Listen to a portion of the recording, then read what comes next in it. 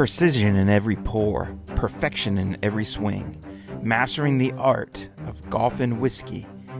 Welcome to Golf Cask Finger Dispersions. So very similar to making slope adjustments in terms of what the ball is sitting on, we can start to use fingers to learn more about the environment and how wind is going to affect the golf ball.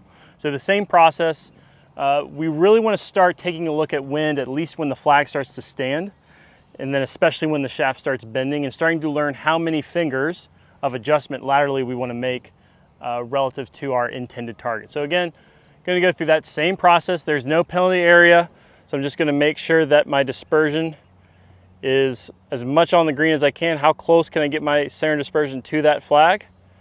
Right, and then if I feel any sort of crosswind, maybe I feel 10 miles per hour going across, and obviously different for everyone because if you have uh, more of a cut face to path or a draw face to path that could be different in different winds. But let's say for me with my shot shape, I feel a 10 mile per hour going across.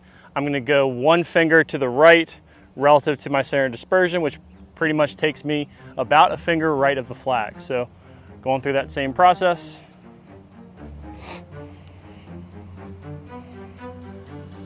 Yep, looks about a finger right.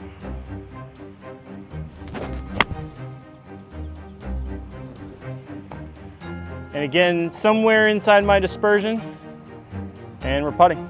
And we're putting.